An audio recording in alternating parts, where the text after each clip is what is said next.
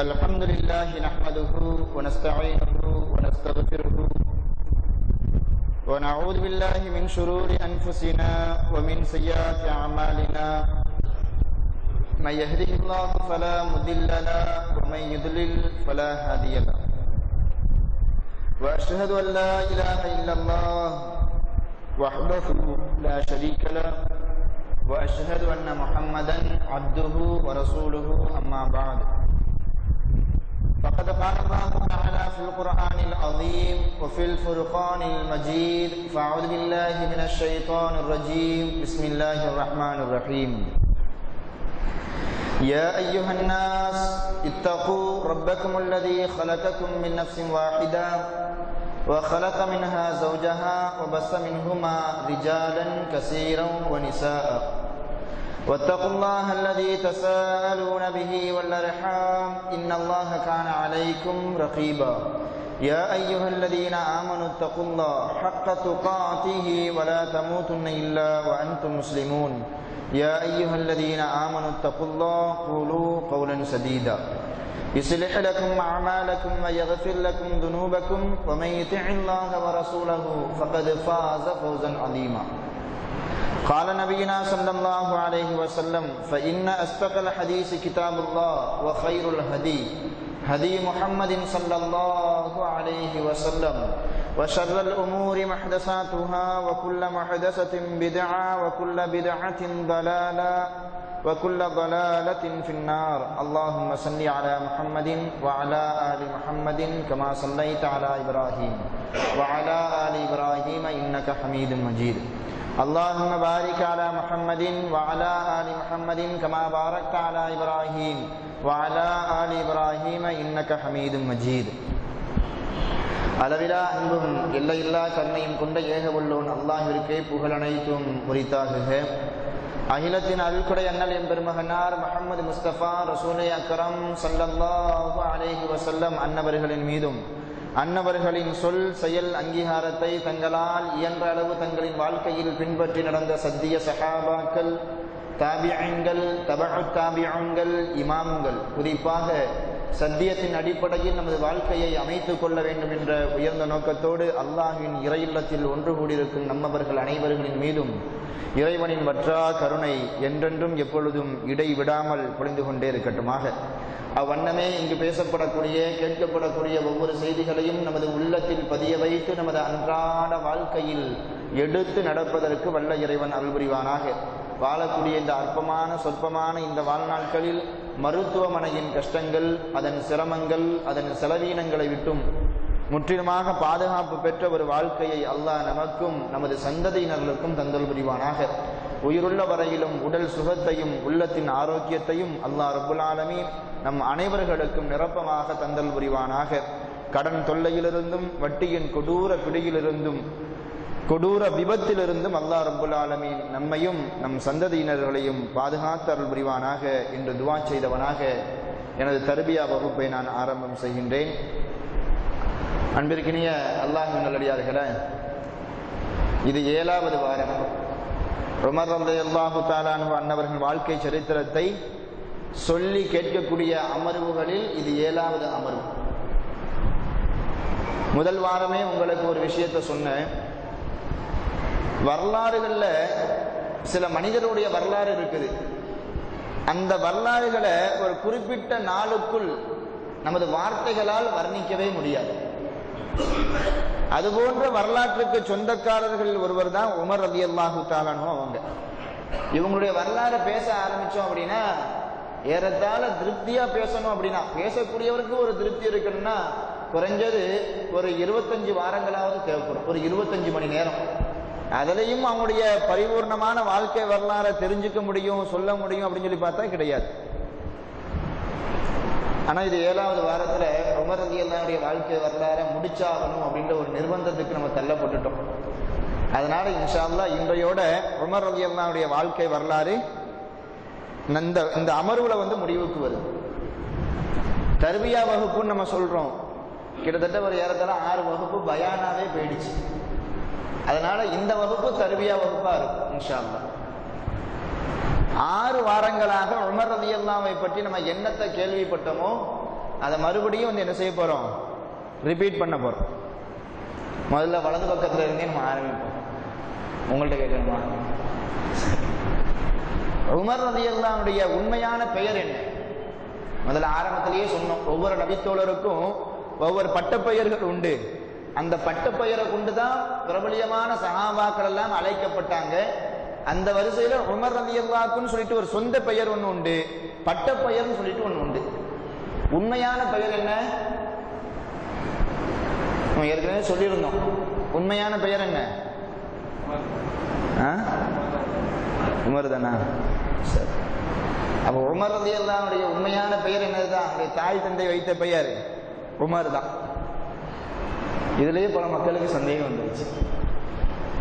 ஏன்னா ஒரு கட்டத்துல ஒரு நேரத்துல இதே வகுப்புல இருந்தான் கேட்டோம் அல்லாஹுடைய தூதர் முகமது ரசூலுல்லாஹி ஸல்லல்லாஹு அலைஹி வஸல்லம் அவங்களுடைய உண்மையான பெயர் என்னன்னு சொல்லிட்டு கேட்டோம்.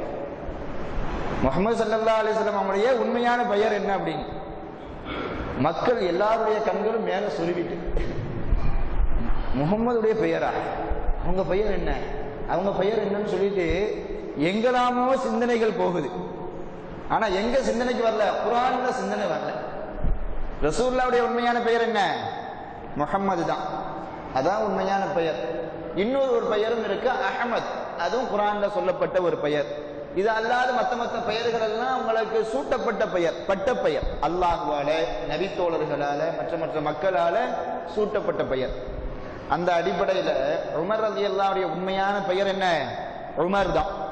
அவனுடைய தந்தை பெயர் உமர் ரவி அல்லாவுக்கு ஒரு பட்ட பெயர் ஒன்று உண்டு. சல்லல்லா அலிஸ்லாம் அவங்களே வச்சாங்க அந்த பட்டத்தை.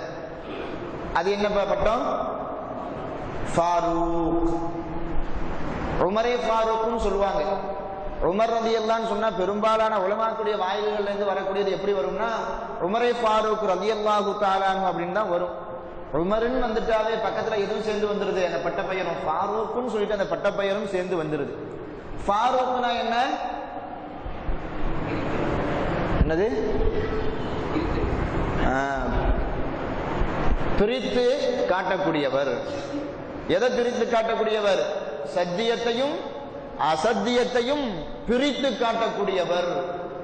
உண்மையிலேயே அவருடைய வாழ்க்கை வரலாறு முழுவதுமாக நாம் படித்தோம் என்று சொன்னா சத்தியத்தையும் அசத்தியத்தையும் அவரை போன்று பிரித்து காட்டியவர் யாருமே கிடையாது அப்படின்னு சொல்லலாம். சல்லல்லா அலிஸ்லம் உங்களுக்கு அடுத்து அபுபக்கர் ரலியல்லாஹுக்கு அடுத்து இது போன்ற ஒரு மனிதரை வரலாறுல பார்க்கவே முடியாது. தனது சொந்த வாழ்க்கையா இருந்தாலும் சரி தனிப்பட்ட வாழ்க்கையா இருந்தாலும் சரி குடும்ப வாழ்க்கையா இருந்தாலும் சரி சமூக வாழ்க்கையா இருந்தாலும் சரி சத்தியம்னா என்ன அசத்தியம்னா என்ன? பிரிச்சு காட்டிடுவாங்க. அது சொல்லாலும் செயலாலும் இருந்துச்சு. உமர் அலி அல்லாஹு அவங்களுடைய தாயார் தந்தை பெயர் ஹத்தாபு தாயார் பெயர்? தாயார் பெயர் என்ன? யார ஒரு ஆளாச்சும் சொல்லுங்க அப்பதான் மனசு எனக்கு ஆறும். கண்டமா வரலாறுகள்ல உமர் எல்லாம் ரொம்ப முக்கியமான ஒரு இடத்தை பிடிச்சவங்க. இனிமேல் அவங்களுடைய பெயரை கேட்டா இந்த சிந்தனைகள்லாம் வரணும் நமக்கு. தந்தை பெயர் ஹத்தாபு தாயார் பெயர் ஹந்தமா அவங்க எந்த குலத்தை சார்ந்தவங்க? குறைஷி குலத்தை சார்ந்தவங்க தான். குல குறைஷி குலத்துல தைமுன்னு சொல்லிட்டு ஒரு குலம் ஒண்ணு வருது.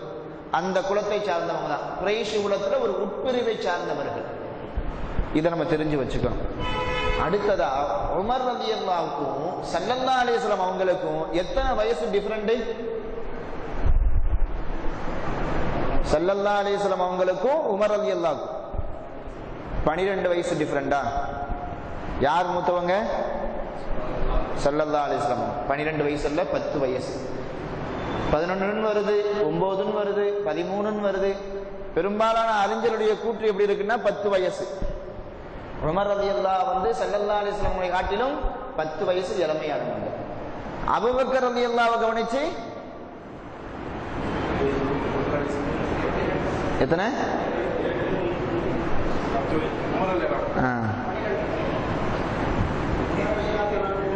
அபுபக்கர் ரதி அல்லா பனிரெண்டரையா? ரெண்டு வயசு. எட்டு.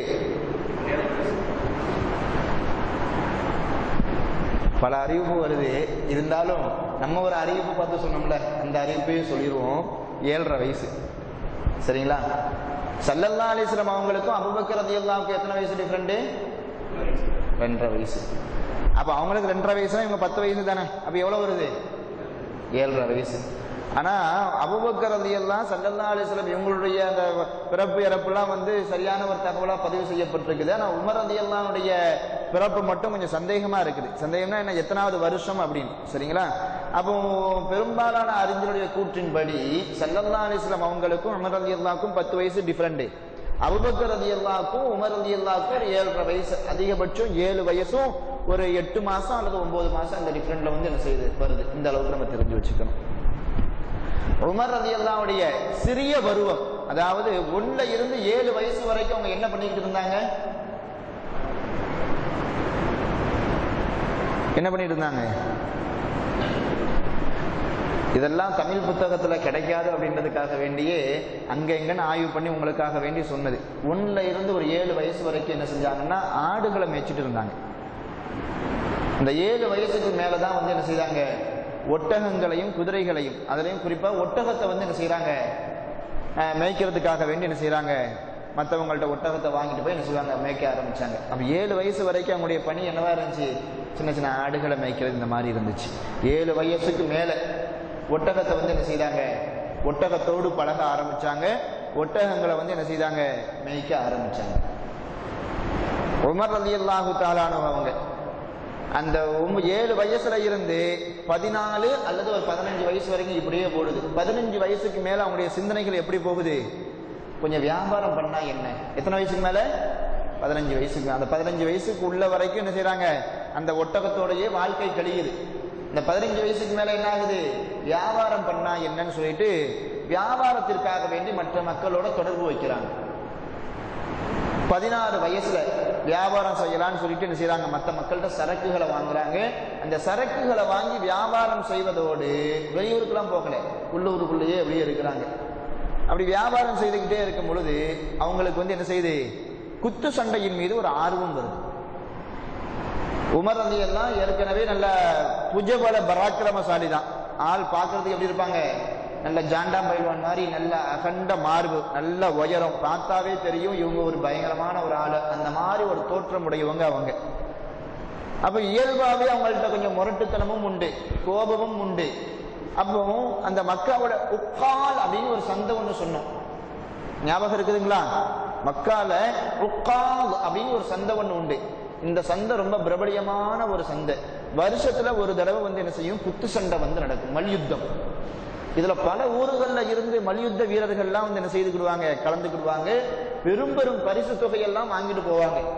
உமர் அலி அல்லாவுடைய பதினேழாவது வயசுல அவங்களுக்கு ஒரு எண்ணம் ஒண்ணு வருது. நம்மையே இந்த மல்யுத்தத்துல குதிக்க கூடாது நம்மளும் வந்து என்ன செய்வோம்? மல்யுத்தம் தான் பண்ணி தான் பார்ப்போமேன்னு சொல்லிட்டு அந்த மல்யுத்த களத்துக்குள்ள வந்து என்ன செய்யறாங்க குதிக்கிறாங்க. இவங்க எப்ப குதிக்கிறாங்களோ அப்ப மல்யுத்தத்தினுடைய சட்ட விதிகளே மாற்றப்படுது. அது வரைக்கும் மல்யுத்தம்னா ஒருத்தவரும் இன்னொருத்தவரோட சண்டை போடுவார். உமரதியல்லாவுடைய மல்யுத்தம் வந்த உடனே என்ன ஆகுதுன்னா ஒரு ஆள் ரெண்டு பேரை சமாளிக்கணும். ஒரு ஆள் மூணு பேரை சமாளிக்கணும். இதான் மல்யுத்தம். ஒரு ஆள் இந்த பக்கம் நின்று கொடுவாரு. எதிர்தரப்புல எத்தனை பேர் இருப்பாங்க? ரெண்டு பேர் அல்லது மூணு பேர். இந்த விதியை கொண்டு வந்தது யாரு? உமர் அலி அல்லா தான். காரணம் என்னன்னா உமர் அலி அல்லா மல்யுத்தத்துல வந்து என்ன செய்யறாங்க இறங்குறாங்க. இவங்களுக்கு ஈக்குவலா சண்டை போடுறதுக்கு ஆள் இல்லை. ஒரு ஆள் களத்துல குதிக்கிறாரு நானும் சண்டை போட வரேன்னு சொல்லிட்டு இன்னொருத்தர் வந்தா தானே சண்டை நிகழும். அப்பதானே மக்கள் பார்ப்பாங்க. உமர் அலி எல்லாம் உள்ள குதிச்ச உடனே எல்லாரும் கூண்டுக்குள்ள வர மாட்டிருக்காங்க. கூண்டை விட்டு வெளியில நிக்கிறாங்க. அப்போ உமர் அலி எல்லாம் அறிவிப்பு செய்யறாங்க ஒண்ணு வேண்டாம் ரெண்டு பேரும் வரீங்களா? ரெண்டு பேரும் வராங்க அப்ப அந்த ரெண்டு பேரும் என்ன செய்யுது அடுத்த வருஷம் மூணா மாறுது எப்ப வந்து இந்த குத்து சண்டை மல்யுத்தத்தினுடைய இந்த விதிமுறையை மாத்தி ரெண்டு பேரோட மூணு பேரோட சண்டை போட்டு பரிசுகளை வென்றாரோ அப்பத்துல இருந்து உமர் ரதி புகழ் வந்து எங்க பரவுது? வெளிநாடுகளுக்கெல்லாம் போகும் ஷாம் சிரியா எஜிப்து அந்த மாதிரி பல நாடுகளுக்கு வந்து என்ன செய்து போகுது? எப்படி போகுதுன்னா பல நாடுகள்ல இருந்து வியாபாரத்துக்காக வேண்டி வந்திருப்பாங்க. அவங்களுக்கு ரொம்ப சந்தோஷமே என்னன்னா வியாபாரத்தை முடிச்சுட்டு வந்து இந்த குத்து சண்டையை பார்க்கறது தான் அவன் பல நாட்டு வியாபாரிகள் வந்து நிற்கும் பொழுது உமர் அல்லாவுடைய அந்த வீர தீரமான அந்த சண்டைகளை எல்லாம் பார்த்து ரொம்ப பூரிப்பா போவாங்க. இப்படிப்பட்ட ஒரு வீரரா? இப்படிப்பட்ட ஒரு வீரரா? என்ன மாதிரி சண்டை போடுறாரு? இவரை எதிர்த்து நிக்கிறதுக்கு ஆள் இல்லையே. உமர் அல்லாவுக்கு பதினேழு வயசு முடிஞ்சு பதினெட்டாவது வயசுல வெளியூருக்கு வியாபாரத்துக்காக வேண்டி போறாங்க. அப்படி வெளியூருக்கு வியாபாரத்துக்கு போகும்போது தான் உமர் அல்லாவை எல்லாரும் கண்டறியறாங்க உமரதி ரதி ஷாமுக்கு போறாங்க. அங்க போனா ஒரு அறிமுகம் கிடைக்குது. இவர் அந்த குத்து சண்டை வீரர்லப்பா இவரை குத்து சண்டையில வீழ்த்தவே முடியாது.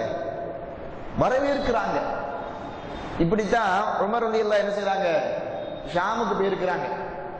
போயிருக்கும் போது அங்க ஒரு நண்பர் உமர் அலி அல்லாட்ட வந்து சொல்றாங்க. உமர் அலி எல்லாம் ஒரு வேலையா நிக்கிறாங்க. அவங்கள்ட்ட வந்து சொல்றாங்க ஒரு பத்து நிமிஷம் என் கூட வந்துட்டு போங்களேன் அப்படின்றாங்க. ஏற்கனவே சொல்லியிருப்பேன். உமரல் இல்ல எதுக்குன்னு சொல்லிட்டு கேட்டாங்க. நீங்க வாங்கல அப்படின்றாங்க. அந்த ஆள் என்ன செஞ்சிருக்கிறாருன்னா அவர் ஊர்ல உமர் வராருன்னு சொல்லிட்டு ஒரு மல்யுத்த ஒரு களத்தை வந்து ஏற்படுத்தி இருக்கிறாரு உமர் அலி இல்லாத சொன்னா சண்டை போடணும்னு சொன்னா வரமாட்டாங்கன்னு சொல்லிட்டு இது எப்ப? உமர் அலி இல்லா இஸ்லாத்துக்குலாம் வந்ததுக்கு பின்னாடி நடக்குது இது.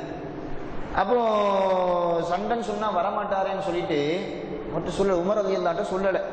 நீங்க வாங்க ஒரு பத்து நிமிஷம் வாங்க அப்படின்ற மாதிரி கூப்பிட்டு போறாங்க. கூட்டு போய் கூட்டமா நிக்குது. என்ன கூட்டம்னு கேட்குறான் அதெல்லாம் வாங்க அப்படின்னு சொல்லி கூட்டு வந்து உள்ளக தள்ளி விட்டுறாங்க. உள்ளக தள்ளி விட்டதுக்கு பின்னாடி தான் தெரியுது இது சண்டை குளம் அப்படின்னு. உள்ளக போய் நிக்கவும் செய்யறாங்க அந்த ஊர்லயே ஷாம் தேசத்திலேயே மிகப்பெரிய ஒரு மல்யுத்த வீரராக அறியப்பட்ட ஒருவர். அவரும் வராரு. உமர் ரதி அல்லாவோட நேருக்கு நேரு வந்து என்ன செய்யறாரு சந்திக்கிறாங்க. உமர் ரவி அல்லா அந்த மல்யுத்த வீரரோடு சண்டை போடுறாரு. எப்படி?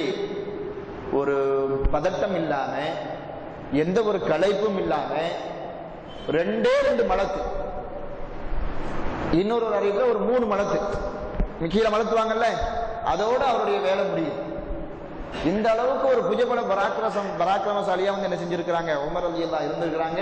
இவங்களுடைய வீர தீரத்தை பத்தி மக்கா மாத்திரமல்ல மதினா மாத்திரமல்ல சுற்றுப்புறங்களில் உள்ள மக்களும் கூட அறியக்கூடியவர்களாக வந்து உமர் அலி எல்லாம் இருந்திருக்கிறாங்க. அவங்களுடைய வீரத்தை பத்தி இது. அப்போ உமர் அலி எல்லாம் ஒரு பதினஞ்சு பதினேழு பதினெட்டு வயசுக்கு மேல அந்த மல்யுத்தத்துல வந்து என்ன செய்யறாங்க ஈடுபடுறாங்க. வியாபாரத்துல ஈடுபடுறாங்க. அப்படியே அவங்களுடைய வாழ்க்கை வந்து என்ன செய்யுது? பொருளாதார வாழ்க்கை அப்படியே கொஞ்சம் உயருது. எப்ப இஸ்லாத்துக்கு வராங்க? உள்ள வந்துருவோம். எப்ப இஸ்லாத்துக்கு வராங்க? சல்லல்லா அலிஸ்லாம் அவங்களுக்கு கிபி அறுநூத்தி பத்துல நபி பட்டம் கிடைக்குது. உமர் அலி எப்ப இஸ்லாத்துக்குள்ள வராங்க? அஞ்சு அல்லது ஆறு. அஞ்சினுடைய இறுதியில அல்லது ஆறினுடைய துவக்கத்துல. அப்ப கிபி அறுநூத்தி பதினஞ்சினுடைய லாஸ்ட் அல்லது பதினாறுனுடைய துவக்கத்துல வந்து என்ன செய்யறாங்க உமர் அலி எல்லாம் இஸ்லாத்துக்கு வராங்க. இஸ்லாத்துக்கு வந்ததுக்கு பின்னாடி நிறைய மாற்றங்கள் வந்து என்ன செய்யுது மக்காவிலேயே ஏற்படுது. அடிமைப்பட்டு கிடந்த சகாபாக்கள் ரொம்ப சந்தோஷமா இருக்கிறாங்க. அதுக்கப்புறம் எத்தனை வருஷம் வந்து என்ன செய்யறாங்க மக்காவில் இருக்கிறாங்க. எத்தனை வருஷம் இருக்கிறாங்க? எட்டு வருஷமா? ஆறுலயே வராங்கன்னு வைங்களேன். ஆறு கிபி அறுநூத்தி பதினாறுல வராங்க. எத்தனை வருஷம் மக்காவில் தங்குறாங்க? அதுல இருந்து ஒரு ஆறு வருஷம். சரிங்களா? சல்லல்லா அலிஸ்லாம் ஹிஜரத் பண்றதுக்கு முன்னாடியே வந்து யாரும் ஹிஜரத் பண்ணி போயிடுறாங்க? உமர் அலி எல்லாம் ஹிஜரத் பண்ணி என்ன செஞ்சிடறாங்க? போயிடுறாங்க. சரிங்களா? அப்ப மக்காவில் இருக்கும் தனைக்கும் மக்காவில் எல்லா எதிரிகளும் பார்த்து பயந்து நடுங்கக்கூடிய அளவிற்கு உமர் அலி அல்லா வந்து என்ன செஞ்சிருக்கிறாங்க? இருந்திருக்கிறாங்க. இஸ்லாமியர்களுக்கு ரொம்ப பக்கபலமா இருந்திருக்கிறாங்க. இஸ்லாத்திற்கு மிகப்பெரிய ஒரு கண்ணியத்தை வந்து என்ன செஞ்சாங்க? சேர்த்து வச்சாங்க. மதினாவுக்கு போறாங்க. மதினாவுக்கு போனதுக்கு பின்னாடியும் மிகப்பெரிய ஒரு வரவேற்பு யாருக்கு இருக்குது? உமர் அலி அல்லாவுக்கு இருக்குது. மதினாவில் நிறைய நிகழ்ச்சிகள்லாம் நடக்குது. அந்த நிகழ்ச்சிகளை எல்லாம் நம்ம வந்து சொல்லியிருப்போம். நீங்கள் தெரிஞ்சிருப்பீங்க. மதினாவுடைய வாழ்க்கை நமக்கு வேண்டாம். செல்லல்லா அலிஸ்லாமுடைய மௌத்துக்கு வந்துருவோம். செல்லல்லா அலிஸ்ல மௌத்து எப்போ நடக்குது? கிபி அறுநூத்தி இதெல்லாம் சொன்ன உடனே டக்கு நமக்கு ஞாபகம் வரணும். சரி கிபி வேண்டாம். ஹிஜ்ரிக்கே வந்து என்ன செஞ்சிருவோம்? வந்துருவோம். அறுநூத்தி முப்பத்தி மூணு. அறுநூத்தி முப்பத்தி ரெண்டினுடைய இறுதி. இப்ப ஹிஜ்ரிக்கு வந்துருவோம். ஹிஜ்ரி பத்துல வந்து என்ன செய்யறாங்க சல்லல்லா அலிஸ்லாம் அவங்க மௌத்தா வராங்க. யார் ஆட்சி பொறுப்புக்கு வராங்க? அபுபக்கர் அலி எல்லாம் வராங்க. அபுபக்கர் அலி அல்லாவை ஆட்சி பொறுப்புல உட்கார வைக்கிறதுக்கு முதல் முதல்ல பைய செஞ்சவங்க யாரு? யாரு? உமர் அலி அல்லா தான். அவங்க கை வச்சு பைய செஞ்ச உடனே மற்றவங்க எல்லாம் வந்து என்ன செஞ்சுட்டாங்க? உமர் அலி அல்லாவே சொல்லிட்டாங்க நம்ம என்ன போட்டு? அப்படின்னு சொல்லிட்டு எல்லாருமே வந்து ஒருமித்த கருத்தை வந்து என்ன செஞ்சுட்டாங்க? வந்துட்டாங்க. அபுபக்கர் அலி எல்லாம் ஆட்சி பொறுப்புல எத்தனை வருஷம் இருந்தாங்க? ரெண்டு வருஷமும் நாலு மாசம். சரியான அறிவிப்பு. அதுக்கப்புறம் உமர் அலி எல்லாம் வந்து என்ன செய்யறாங்க ஆட்சி பொறுப்புக்கு வராங்க. உமர் அலி எல்லாம் எத்தனை வருஷம் ஆட்சி பொறுப்புல இருக்கிறாங்க? பத்தா பனிரெண்டா? சாய்ஸே கொடுக்க கூடாது உங்களுக்கு பத்து தான். சரிங்களா? எத்தனை வருஷம் இருக்கிறாங்க? பத்து வருஷம் இருக்கிறாங்க. அந்த பத்து வருஷத்தினுடைய அந்த ஆட்சி காலம் மகத்தான ஆட்சி. உமர் அலி ஆட்சி அந்த பத்து வருஷ காலத்துல என்னென்ன நிகழ்ச்சிகள் நடந்துச்சுன்னு சொல்லிட்டு நம்ம வந்து ரொம்ப கம்மியா தான் சொன்னோம். ரொம்ப விவரிச்சு சொல்ல முடியல. அந்த பத்து ஆண்டுகள்ல பத்தாவது ஆண்டு இருக்கு பாத்தீங்களா? அந்த பத்தாவது ஆண்டு தான் இந்த இன்னைக்கு நம்ம பார்க்க போறோம். இந்த பத்தாவது ஆண்டுல என்ன நிகழ்ச்சி நடக்குதுன்னா உமர் ரவியல் தான் இந்த உலகத்தை விட்டும் விடைபெற போறாங்க. மரணத்தினுடைய சில அறிகுறி அறிகுறிகள் எல்லாம் தெரிய ஆரம்பிக்கும் என்ன அறிகுறி அப்படின்னா அந்த பத்தாவது வருஷம் நெருங்கும் பொழுது சல்லல்லா அலிஸ்லாம் அவங்க சொன்ன ஒரு செய்தி உமர் ரதியல்லாக்கு ஞாபகத்துக்கு வருது. சல்லல்லா அலிஸ்லாம் ஹயாத்தா இருக்கும்போது ஒரு கனவு ஒண்ணு கண்டாங்க. என்ன கனவுனா ஒரு கிணத்துல ஒரு வாளிய போட்டு தண்ணீர் இறைக்கிற மாதிரி. சல்லல்லா தண்ணீர் இறைக்கிறாங்க.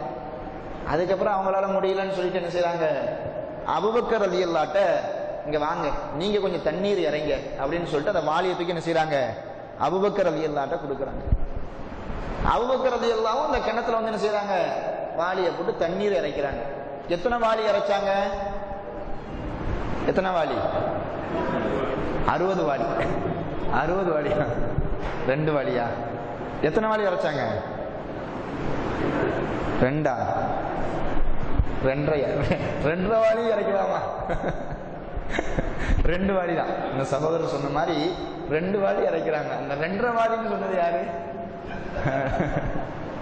ரெண்டு வாடி இறைக்கிறாங்க ரெண்டு வாடி இறைச்சதுக்கு முன்னாடி அவங்களால முடியல. என்னால முடியல யார சொல்லலாம் அப்படின்ட்டு வாணியை கொடுத்துட்றாங்க பக்கத்துல யார் நிற்கிறா உமர் அலி அல்லா நிற்கிறாங்க ரசூல்லாவுடைய கனவுல வருது இது. அப்போ உமர் அலி அல்லா கூப்பிட்டு நீங்க கொஞ்சம் தண்ணீர் இறங்கல அப்படின்னு. அவர் சனக்கா முனக்கா வந்து என்ன அவர் ஏற்கனவே இப்படித்தானே இருப்பாங்க. எற இறங்க இறைச்சி பத்து வாடி இறைச்சிடுறாரு சரிங்களா? இந்த செய்தி உமர் அலி அல்லாக்கு எப்ப ஞாபகத்துக்கு வருது? அப்படி பத்தாவது வருஷத்துல ஞாபகத்துக்கு வருது. ஒரு நாள் இப்படி இருக்குமோ அப்படின்னு ஒரு சந்தேகம் ஒன்று வருது. இது ஒரு அறிகுறி அவங்களுக்கு. அடுத்து ஒரு அறிகுறிய பாருங்க.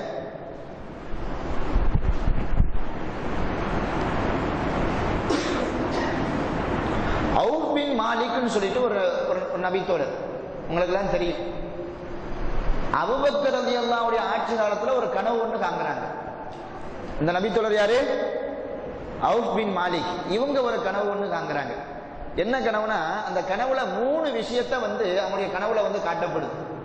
ஒரு விஷயம் என்னன்னா ஒவ்வொரு கட்டிடத்திற்கும் அதனுடைய தூண்கள் எந்த அளவுக்கு அவசியமோ அதுபோல இந்த இஸ்லாத்தினுடைய வளர்ச்சிக்கு மிக முக்கியமான ஒரு காரணம் யார் அப்படின்னா இந்த உமர் ரதியா இப்படின்னு அவங்களுடைய கனவுல காட்டப்படுது. அடுத்து இன்னொரு விஷயமும் உங்களுக்கு காட்டப்படுது. இவர் நீண்ட நெடிய காலம் ஆட்சி செய்வார். அப்படின்ற ஒரு செய்தியும் காட்டப்படுது. மூணாவது அவர் ஷஹீதாக்கப்படுவார். யாரு? உமர் அலியெல்லாம் எல்லாம் ஷஹீதாக்கப்படுவார். இந்த செய்தியை இந்த அவுஃப் ரதி எல்லாம் என்ன செய்யறாங்கன்னா நேரம் அபுபக்கர் ரதி வந்து சொல்றாங்க. அபுபக்கர் ரதி அவங்கள அந்த மாதிரி ஒரு கனவு கண்டேன்.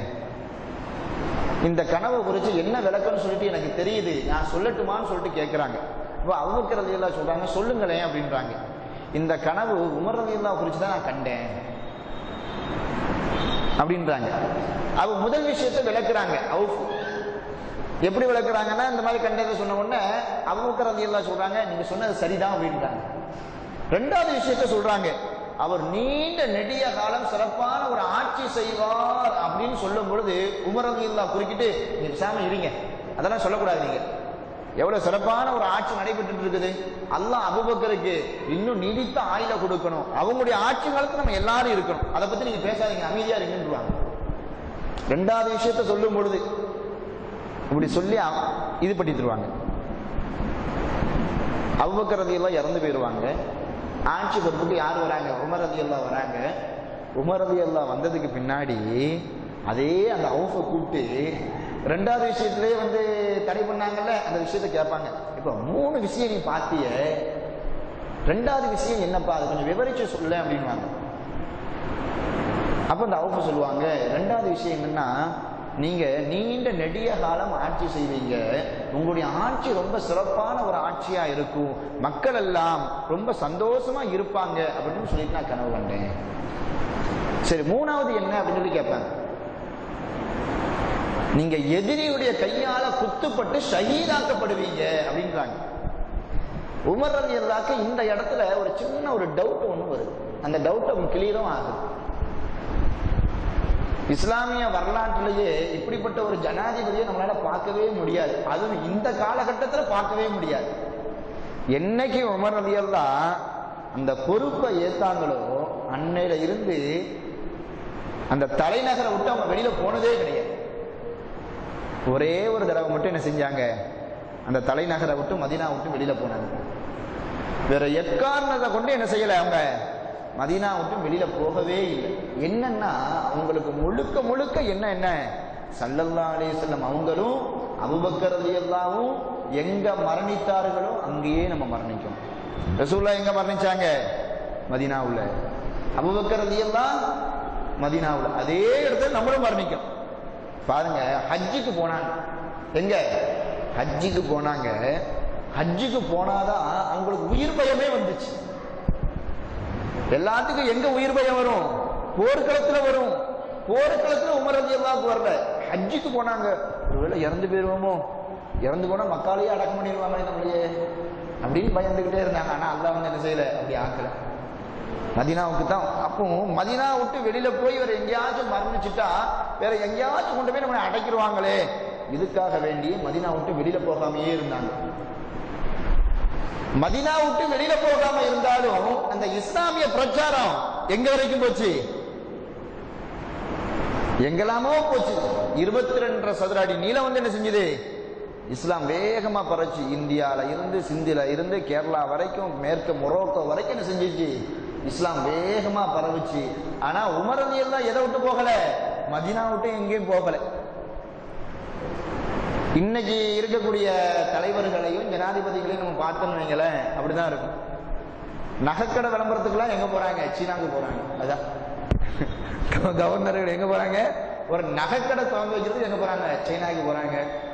ஒரு துணிக்கடையை திறந்து வைக்கிறதுக்கு எங்க வராங்க? மும்பைக்கு வராங்க. இந்த மாதிரி கவர்னர்களை தான் இன்னைக்கு பார்க்க முடியுதே ஒழிய அன்னைக்கு ஜனாதிபதி எப்படி இருந்தாங்கன்னு பாருங்க.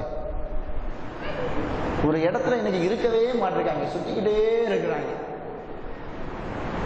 உமர் ரதி அந்த ஒரே ஒரு தடவை தலைநகரை விட்டு வெளியில போனாங்க பார்த்தீங்களா நல்லா கவனிக்கணும். இந்த தலைநகரை விட்டு வெளியில போகும்போது கூட தன்னுடைய சொந்த வாகனத்தை பயன்படுத்தினாங்களாம். அங்க இருந்து அந்த ஜெருசலத்துக்கு போனாங்கல்ல? அந்த அந்த ஒரு பயணம் தான் அந்த ஜெருசலத்து வரைக்கும் போறதுக்கு உண்டான உணவுகள் எல்லாமே தன்னுடைய சொந்த உணவுகளை வந்து என்ன செஞ்சாங்க? கெட்டி கொண்டு போனாங்க. அந்த சொந்த உணவுகளை கெட்டி கொண்டு போனதுனால என்ன ஆயிடுச்சுன்னா பாதி தொலைவுலையே கெட்டி கொண்டு போன அந்த உணவுகள் கெட்டு போயிடுச்சு.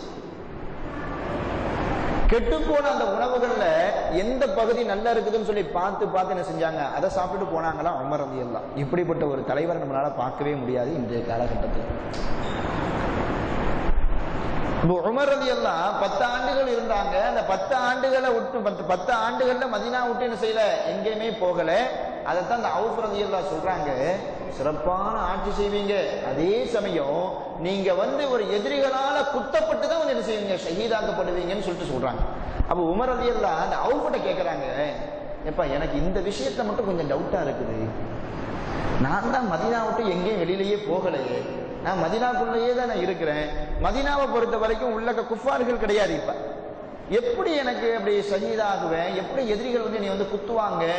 அப்படின்னு சொல்லிட்டு கேட்கும் பொழுது அவுஃப் எல்லாம் ஒரு ஹதீஸ் ஞாபகப்படுத்துறாங்க. உமரே உங்களுக்கு ஞாபகம் இருக்குதா? ஒரு தடவை நீங்களும் அபுபக்கரும் உஸ்மானும் அந்த உகது மலை மேல ஏறினீங்களா? அப்படி ஏறும் பொழுது அந்த உகது மலை அப்படி நடுங்கிச்சா? அப்போ சல்லல்லா என்ன சொன்னாங்க? மலையே என்ன அசைகிறாய்? உன் மீது ஒரு நபி இருக்கிறார் ஒரு சித்தியக் இருக்கிறார். ரெண்டு சுகதாக்கள் இருக்கிறாங்க. நபி முகமது சல்லா அலி சொல்லம் சித்தியக்கு அபுபக்கரு மீதம் இருந்த ரெண்டு பேர் யாரு? நீங்களும் உஸ்மானும் தானே. அப்ப நீங்க கண்டிப்பா என்ன செய்வீங்க? ஷஹீதாக்கப்படுவீங்கன்னு நாங்க ஆமா சரிதான். சல்லல்லா அலிஸ்லாம் சொன்னா அது தவறா இருக்காது. அது பொய்யா இருக்காது. அப்ப நான் மதினாக்குள்ளேயே இருந்தாலும் கண்டிப்பாக அல்லாஹ் என்ன செய்வான் எனக்கு? இந்த ஷஹீதுடைய பாக்கியத்தை தருவான்னு சொல்லிட்டு என்ன செஞ்சாங்க? ரொம்ப சந்தோஷப்பட்டாங்க. உமர் ரதி அல்லாவுடைய மூச்சு பேச்சு எல்லாமே எப்படி இருந்துச்சுன்னா ஷஹீதாக்கப்படணும் ஷஹீதாக்கப்படணும்னே இருந்தாங்க. ஆனா அவங்களுடைய வாழ்க்கையில நிறைய விஷயங்களை கண்கூடா பாக்குறாங்க அது ஒரு பயத்தை ஏற்படுத்துச்சு அவங்களுக்கு. சொல்ல போனா ஹாலிதுபுரன் வழியில் இருக்காங்களே இவங்களுடைய மரணம் உமர் ரதி மிகப்பெரிய ஒரு கவலையை ஏற்படுத்துச்சு. பல விதத்துல கவலை. அதுல ஒரு கவலை என்னன்னா ஹாலிதுபுரன் வலியுது தனது வாழ்நாள்ல பெரும் பகுதியை எங்கதான் கழிச்சாங்க? போர்க்களத்துல தான் கழிச்சாங்க.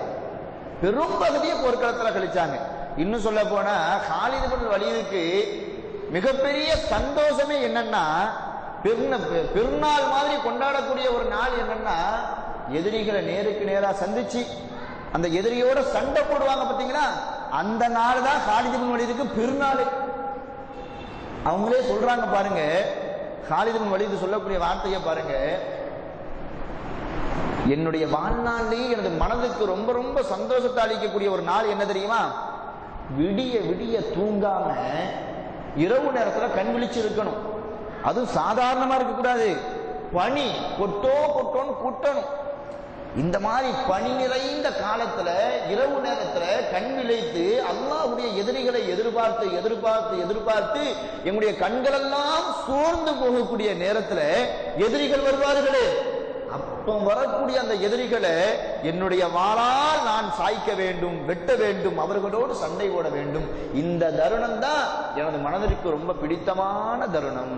அதுதான் எனக்கு பிடித்தமான நாள் அப்படின்னு சொல்லிட்டு சொல்றாங்க. இப்படிப்பட்ட ஒரு மனிதரை பார்க்க முடியுமா? தன்னுடைய வாழ்நாளில் பெரும் பகுதியை போர்க்களத்திலேயே கழித்த நாளிதிபன் வழியிற்கு அல்ல எந்த பாக்கியத்தை கொடுக்கல? ஷஹீதுடைய பாக்கியத்தை கொடுக்கல. மரண படுக்கையில இருந்துட்டு சொல்றாங்க பாருங்க. இந்த ஹாலிதுக்கு ஏற்பட்ட கை சேதத்தை பாருங்க. என்ன சுத்தி ஒட்டகங்கள் இருக்குது. என்ன சுத்தி வந்து குதிரைகள் இருக்குது. இந்த ஒட்டகங்களும் குதிரைகளும் எப்படி? அது தூங்குற இடத்துல அது மலங்கலம் கழிக்கிற இடத்துல அது படுக்கிற இடத்துல எப்படி செத்து போகுதோ அதே மாதிரி இந்த ஹாலில செத்து போறானே. பெரும்பகுதியே போர்க்களத்துல கழிச்ச எனக்கு எல்லாம் ஷஹீதுடைய பாக்கியத்தை தரலையேன்னு சொல்லிட்டு ரொம்ப வருத்தப்பட்டாங்க. இந்த மரணம் எல்லாம் உமர் ஒரு கவலையை ஏற்படுத்துச்சு. அவ்வளவு பெரிய ஆளு. சண்டை போட்டுக்கிட்டே இருப்பாரு. அவருக்கு ஷஹீதுடைய அந்தஸ்து கிடைக்கிறது அப்ப நம்ம மதினாவிலேயே வேற இருக்கிறோம். எதிரிகளுடைய வ- தாக்குதலுக்கு எந்த ஒரு அடையாளமும் இல்லை. எப்படி நமக்கு ஷஹீதுடைய வாக்கியம் கிடைக்கும்னு சொல்லிட்டு ஒரு குழப்பமாவே இருந்துச்சு. சல்லல்லா அவங்க சொன்னாங்கல்ல அதற்கு பின்னாடி உறுதிப்படுத்திட்டாங்க. எங்க இருந்தாலும் சரி நமக்கு ஷஹீது தான். அப்படி. அப்ப அந்த பத்தாவது வருஷத்துல சில அறிகுறிகள்லாம் தெரியுது. அந்த அறிகுறிகள்ல இதுவும் ஒண்ணு. இந்த அறிகுறி தெரிஞ்ச உடனே அவங்க சில விஷயத்த வந்து என்ன செய்யறாங்க சரி செய்ய ஆரம்பிக்கிறாங்க. நம்ம மரணம் வந்துருச்சு. மக்களுக்கு ஏதாச்சும் ஒரு பெரிய ஒரு நல்லது ஒண்ணு பண்ணணும்னு சொல்லிட்டு ஒரு மிகப்பெரிய ஒரு நல்லது ஒண்ணு பண்றாங்க. என்ன நல்லது பண்றாங்கன்னா அவங்க பண்ண நல்லதுலயே வரலாறுகளே இது வந்து முத்தாய்ப்பான ஒரு செய்தி. விதவை பெண்களுக்கு ஒரு நல்ல ஒரு ஏற்பாட்டை ஒண்ணு செய்கிறாங்க அந்த காலகட்டத்தில் விதவை பெண்களை வந்து ரொம்ப கொடுமைப்படுத்தினாங்க. கணவர் இறந்து போயிட்டாங்கன்னா அந்த பெண்களுடைய கதி ரொம்ப மோசமாக இருந்துச்சு. உமர் ரலியல்லா ஒரு ஏற்பாடு பண்றாங்க. அந்த ஏற்பாட்டில் இது ஒரு முக்கியமான ஒரு ஏற்பாடு. அந்த மரண தருணத்துல அந்த அந்த மரணம் நெருங்கக்கூடிய அந்த சமயத்துல செய்கிறாங்க ஒரு பெரிய சம்பவமே இருக்குது. என்ன சம்பவம்? என்ன சம்பவம்னா அம்ருபின் மைமூன் என்கிற இவங்க சஹாபி கிடையாது தாபியம் இவங்க வந்து என்ன செய்யறாங்க சொல்றாங்க உமர் ரலியல்லா குத்துப்படுவதற்கு ஒரு நாலு நாளைக்கு முன்னாடி ஒரு சம்பவம் ஒன்று நடக்குது. என்ன சம்பவம்னா இஸ்லாமிய ஆட்சியின் கீழே இருக்கக்கூடிய நாடுகள்ல யாரெல்லாம் காபிர்கள் இருக்கிறாங்களோ இவங்க ஜிஸ்யா வரி கொடுக்கணும். இஸ்லாமிய நாட்டுக்குள்ள ஒரு காபீர் இருக்கிறாங்க இவ்வளவு வரி கொடுக்கணும்னு சொல்லிட்டு என்ன செஞ்சாங்க? ஒரு ஜிஸ்யா வரியை வந்து ஏற்படுத்தி இருந்தாங்க இந்த ஜிஸ்யா வரியை வந்து கலெக்ட் பண்றதுக்கு வந்து ஹுதைஃபா பின் யமான் என்கிற நபித்தோழரையும் உஸ்மான் பின் ஹுனேத் என்கிற ஒரு ரெண்டு நபித்தோழரையும் ஏற்படுத்தி இருந்தாங்க எந்த பகுதிக்கு? ஈராக் பகுதிக்கு. அந்த ரெண்டு பேரையும் கூப்பிடுறாங்க. யாரு? முகமது அலி அல்லா கூப்பிட்டு சொல்றாங்க ஹுதைஃபாவே உஸ்மானே நீங்க ஈராக் பகுதிகளில் உள்ள மக்கள்கிட்ட ரொம்ப நீதமா நடந்துக்கிட்டீங்களா? ஜிசியா வரிய பெறும் பொழுது அவங்கள்ட்ட ரொம்ப கடினமா நடந்துக்கலையே. ஜிசியா வரிய அவங்களுடைய சக்திக்கு மேற்பட்டு நீங்க வந்து என்ன செய்யலையே? விதிக்கலையே. சரியான ஒரு முறையில நடந்தீங்களா? அப்படின்னு சொல்லிட்டு கேட்கிறாங்க அப்ப அந்த ரெண்டு பேரும் சொல்றாங்க அமீரல் முக்மினின் அவங்களே ஈராக் பகுதியில் இருக்கக்கூடிய காத்திர்களுக்கு நாங்க ஜிஸ்யா வரியை வந்து ரொம்பலாம் நாங்க விதிக்கல. அவங்களுடைய சக்திக்கு உட்பட்டு தான் நாங்க வந்து என்ன செஞ்சிருக்கோம்? விதிச்சிருக்கோம். எந்த ஒரு அநியாயமும் பண்ணல. இது எப்ப சொல்றாங்க? மரண தருவாயில. மரணத்தினுடைய அறிகுறிகள் தெரிஞ்ச உடனே ஒவ்வொன்னையா கேட்கிறாங்க அதுல ஒரு விஷயம் என்ன? ஜிசியா வரியில கரெக்டா இருந்தீங்களா? அப்படின்னு. அப்போ உமர் அதி அல்லா சொல்றாங்க பாருங்க. எனது ஆயுளை மாத்திரம். இதெல்லாம் உமர் அதி அல்லாவுடைய மரணத்தை வந்து உங்களுக்கு அப்படியே நினைவுபடுத்துது. பக்கத்துல நெருங்கிட்டு அப்படின்னு சொல்லுது. உமர் அதி அல்லாவுடைய வாயில இருந்தே வருது. இன்னும் அல்லாஹ் கொஞ்ச நாளைக்கு எனது ஆயுள் காலத்தை நீடித்தான் என்று சொன்னால் இன்னும் கொஞ்ச காலங்கள் நான் வாழ்வேன் என்று இருந்தது என்று சொன்னால் ஈராக் தேசத்தில் உள்ள விதவை பெண்கள் எனக்கு பின்னாடி வர யாத்தமே கையேந்தாத அளவிற்கு அவர்களை கண்ணிறை உள்ள ஒரு பெண்களாக நான் மாற்றிவிட்டு நான் சென்றிருப்பேன். செல்வேன் அப்படின்றாங்க. அப்ப அவங்களுக்கு தெரியுது இனிமேல் நம்ம வந்து என்ன செய்ய மாட்டோம்? இருக்க மாட்டோம். ஈராக் பகுதிகளில் யாரெல்லாம் நீங்க வரி வந்து வாங்குறீங்களோ ஜிசியா வரி வாங்குறீங்களோ அவங்க கரெக்டா நடந்துக்கங்க. அவங்களுடைய சக்திக்கு மீறி நீங்க என்ன செய்யாதீங்க. இந்த ஜிசியா வரியை வந்து நீங்க வந்து விதிக்காதீங்க அப்படின்னு சொல்லிட்டு என்ன செய்கிறாங்க சொல்றாங்க. அடுத்து ஒரு சம்பவம் நடக்குது பாருங்க. உமர் ரதியல்லாவுடைய முன்னாள் அடிமை அவங்கள்ட்ட அடிமையா இருந்து விடுதலை செய்யப்பட்டவங்க அஸ்லம் சொல்லிட்டு ஒருத்தவங்க. இவங்க சொல்றாங்க உமர் ரதியல்லாவுடைய இறுதி கட்டத்துல அவங்க இறக்கக்கூடிய அந்த வருஷத்துல நடக்குது இந்த செய்தி. நானும் உமர் ரலியல்லாவும் சண்டைக்கு போயிருந்தோம். அப்போ ஒரு பெண்மணி வந்தாங்க. வந்து உமர் ரலியல்லாட்ட வந்து சொல்றாங்க அமீர் மினின் அவங்களே எனது கணவர் என்னை விதவையாக விட்டுட்டு போயிட்டாரு. இன்னும் சின்ன பிள்ளைங்கள் எல்லாம் இருக்குது கை குழந்தைகளாக இருக்குது. ஆட்டினுடைய காலை எடுத்து குழம்பு வைக்கிறது கூட எங்கள்கிட்ட வசதி கிடையாது. இந்த மாதிரி ஒரு சூழ்நிலையில் எனது கணவர் என்னை விட்டும் இறந்துட்டாரு. நான் ரொம்ப கஷ்டப்பட்டுட்டு ரொம்ப ஒரு இக்கட்டான ஒரு சூழ்நிலையில இருக்கிறேன் அப்படின்னு சொல்லிட்டு ஒரு பெண்மணி வந்து உமர் ரதியுல்லாட்ட வந்து சொல்றாங்களா சொல்லிட்டு அடுத்த ஒரு செய்தியை சொல்றாங்க. நான் யார் தெரியுமா? இன்னாருடைய மகள் அப்படின்னு சொல்லிட்டு ஒரு நபித்தோழருடைய பேரை வந்து சொல்றாங்க. சொல்லிட்டு அந்த பெண்மணி சொல்றாங்க எனது தந்தை யார் தெரியுமா? இன்னாரு. அவர் ஹுதேபியா உடன்படிக்கையில கலந்து கொண்டவர். அப்படின்னு சொல்லிட்டு இன்னொரு தகவலையும் தகவலை வந்து என்ன செய்யறாங்க பதிவு செய்யறாங்க இந்த செய்தியை கேட்ட உடனே உமர் ரதி அந்த பெண்மணிய நெருங்கிய உறவே வா நெருங்கிய உறவே வா அப்படின்னு சொல்லிட்டு என்ன செய்யறாங்க இந்த பெண்ணை அழைக்கிறாங்க. அழைச்சிட்டு சொல்றாங்க உனக்கு என்ன தேவையோ அதை நான் தரேன். அப்படின்னு சொல்லிட்டு கொஞ்ச நேரம் அந்த பெண்மணியை அங்கேயே நிப்பாட்டி வச்சுட்டு நேரா வீட்டுக்கு போறாங்க. அந்த வீட்டுல இருக்கக்கூடிய ஒட்டகங்களே ரொம்ப சக்தி வாய்ந்த ஒரு ஒட்டகத்தை பிடிச்சிட்டு வராங்க. ரெண்டு மூட்டை தானியங்கள் உணவுகள் ரொட்டி மாவு துணிகள் எல்லாத்தையும் எடுத்து அந்த ஒட்டகத்துக்கு மேல வைக்கிறாங்க. கொஞ்சம் வெள்ளி காசுகளையும் எடுத்து வைக்கிறாங்க. எடுத்து வச்சுட்டு அதோடைய மூக்குறாங்க இதை பிடிச்சிட்டு என்ன செய்யறாங்க கடிவாளத்தை பிடிச்சிட்டு நேரம் அந்த இடத்துக்கு வராங்க. அந்த பெண்மணிட்டு வந்து கொடுக்குறாங்க. இந்தாங்க வச்சுக்கணும் இந்த ஒட்டகத்தின் மீது இருக்கக்கூடிய அந்த தானியங்கள் தீருவதற்குள் அல்லாஹ் உனது கஷ்டத்தை இலகுவாக்குவான். வேற வழியை வந்து அல்லா என்ன செய்வான்? உனக்கு ஏற்படுத்துவான் அப்படின்னு சொல்லிட்டு அந்த ஒட்டகத்தை கொடுக்குறாங்க. கூடியிருந்த நபித்தோழர்களுக்கெல்லாம் கொஞ்சம் சங்கடமா போயிடுச்சு. அந்த பெண்மணி கேட்டாங்க வருமன்னு சொல்லிட்டு கேட்டாங்க ஏதாச்சும் உதவி பண்ணிருக்கலாம் ஒரு ஒட்டகத்தையும் கொடுத்து அந்த ஒட்டகத்தின் மீது இவ்வளவு அளவுக்கு பணமா? இவ்வளவு அளவுக்கு பொருளா? அப்ப உமர் சொல்றாங்க அந்த பெண்மணிக்கு நீங்க கொஞ்சம் அதிகமா தான் கொஞ்சம் என்ன செஞ்சிட்டீங்க? உதவி பண்ணிட்டீங்க. இந்த அளவுக்கு செய்யணும்னு சொல்லிட்டு அவசியம் கிடையாதேன்னு சொல்லிட்டு சில நபித்தோழர்கள் சொல்றாங்க. அதுக்கு உமர் ரதியல்லா சொல்றாங்க. என் அருமை தோழர்களே உங்களுக்கு ஒரு விஷயம் தெரியாது. என்ன விஷயம் தெரியுமா? அந்த பெண்மணியினுடைய தந்தையும் அந்த பெண்மணியுடைய சகோதரன் ஒரு கோட்டையை முற்றுகையிட்டார். அந்த இருவரும் ஒரு கோட்டையை முற்றுகையிட்டு ஒரு போர்க்களத்தில் மிகப்பெரிய ஒரு வெற்றியை நமக்கு ஈட்டி தந்தார்கள். அந்த முற்றுகை இட்டதுனால அந்த பெண்மணியுடைய தந்தையும் சகோதரனும் ரொம்ப கஷ்டத்தை அனுபவிச்சாங்க. ரொம்ப சிரமத்தை அனுபவிச்சாங்க. அந்த சிரமத்தினால் அல்லாஹ் நமக்கு வெற்றியை தந்தா நம்ம அதுல எந்த ஒரு பங்களிப்புமே செய்யல. நம்ம என்ன செஞ்சோம் தெரியுமா? அவங்களால் கிடைத்த அந்த வெற்றி பொருட்களை எங்களுக்கும் பங்குதாங்கன்னு சொல்லிட்டு அல்லாவுடைய ரசூல்கிட்ட போய் நின்னோம். அல்லாஹ்வுடைய ரசூல் அந்த இருவரின் மூலமாக கிடைத்த அந்த வெற்றி பொருட்களை நமக்கும் பங்கு வச்சு தந்தாங்க. எனக்கு அந்த சிந்தனை ஞாபகம் வந்துருச்சு. நமக்கு ஒண்ணுமே இல்லாம நம்முடைய பங்களிப்பே இல்லாம அவர்களின் உழைப்பின் மூலமாக வந்த அந்த பொருட்கள் நம்ம சாப்பிட்டோமே இன்னைக்கு அவங்களுடைய மகள் அவருடைய சகோதரி ஒண்ணுமே இல்லாம நிக்கிறாங்க. அவங்களுக்கு நிரப்பமா கொடுக்கிறது நம்ம கடமை இல்லவா? விதவை வரலா இஸ்லாமிய வரலாற்றிலேயே விதவைகளுக்கு மிக மிக சிறப்பான ஒரு வாழ்வாதாரத்தை ஏற்படுத்தியவங்க அப்படின்னா அது உமர் அதிகாரம் இன்று வரைக்கும் பேசப்படுது. இன்று வரைக்கும் பேசப்படுது. கோர்ட்ல இஸ்லாமிக் லான்னு சொல்லிட்டு ஒன்று இருக்குது. சட்டம் படிச்சவங்களுக்கு தெரியும். இஸ்லாமிக் லான்னு சொல்லிட்டு ஒண்ணு உண்டு. அந்த இஸ்லாமிக் லால குரான் ஹதீஸ மேற்கோள் காட்டுவதை காட்டிலும் அந்த இஸ்லாமிக் லால எது அதிகமா சொல்லப்படுது? உமர் ரதி அல்லாவுடைய சட்டத்திட்டங்கள். அவங்க வாழ்ந்த காலகட்டத்தில் என்னென்ன விஷயங்கள் செஞ்சாங்க? அதெல்லாம் குறிப்பிடப்பட்டிருக்குது. இன்றைக்கு இந்த இந்தியாவில் கோர்ட்ல இருக்கக்கூடிய அந்த சட்டத்திட்டத்துல யாருடைய சட்டத்திட்டம் நீங்க செயல்பாட்டில் இருக்குது? உமர் ரதி இஸ்லாமிக் லான்னு சொல்லிட்டு ஒன்று இருக்குது. அது எல்லாமே உள்ளக படிச்சோம் அப்படின்னா எப்படி இருக்குது?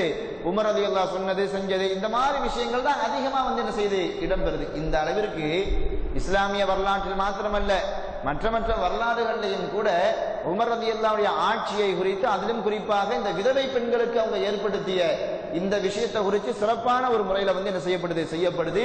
இந்த விஷயத்தை எப்பதான் செய்யறாங்க உமர் ரதி அல்லாவுடைய இறுதி காலகட்டத்தில் நிறைய நல்லது செய்யறாங்க அந்த நல்லதுலே மிக சிறப்பான ஒரு நல்லது என்ன?